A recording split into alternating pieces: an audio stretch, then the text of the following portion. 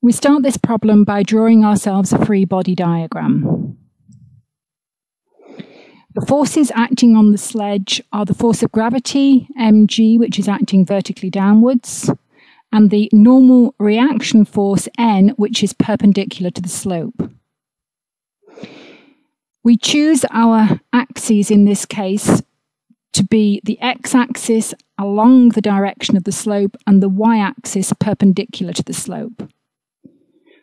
We can then resolve the gravitational force mg into two components, one along the slope mg sine alpha, and one perpendicular to the slope mg cos alpha.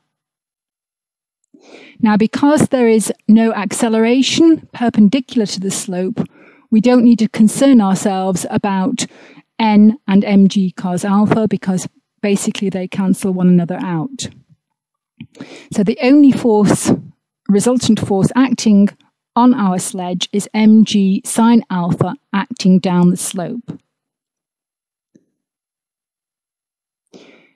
We now put that resultant force into Newton's second law equation, which gives us mg sine alpha equals max, where ax is the acceleration down the slope.